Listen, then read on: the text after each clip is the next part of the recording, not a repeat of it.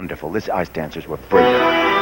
Well, they've moved into second place among those who have skated. Semanick and Gregory of the United States are still the leaders, but the earlier leaders are yet to come. This is Klára Engi and Attila Tóth of Hungary, seventh after the compulsory.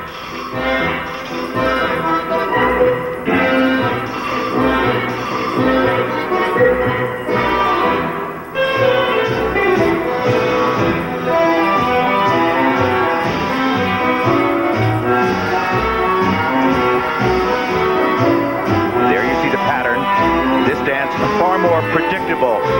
A plain tango uh, certainly does not have the character or the completion that the du Duchesnays had.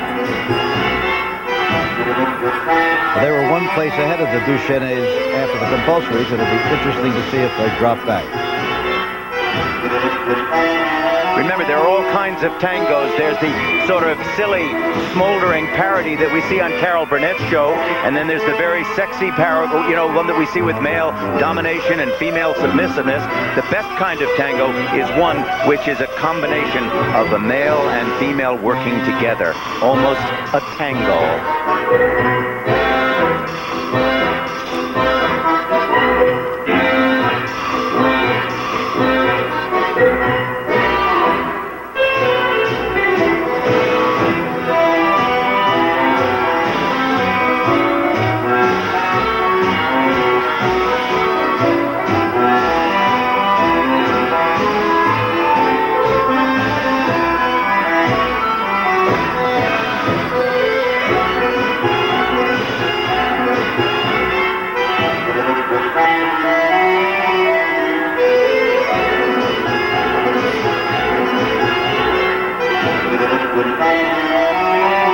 One of the rules is that neither skater can leave the ice at any time. There's a particularly fascinating move where she hangs on by a hair.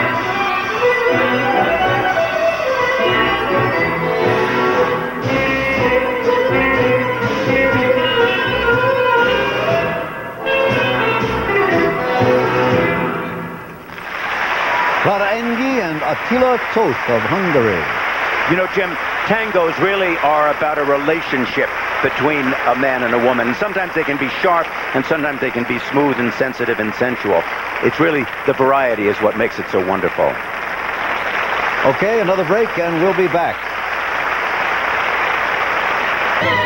And now back in the arena, the march for Engi and Tóth of Hungary, 5-3 to 5-5, and then 5-3 to 5-4, and they stay ahead of the Duchesnays in the overall standing. Here we have Antonia and Ferdinand Becherer. They are twins from West Germany, ninth after the compulsory.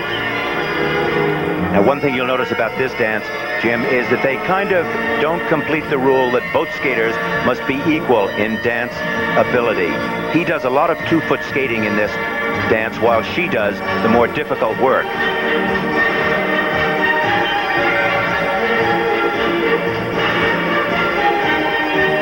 Still to come, all of the lead couples, including Vestin, Ulyanova, and Bukin of the Soviet Union, the favorites.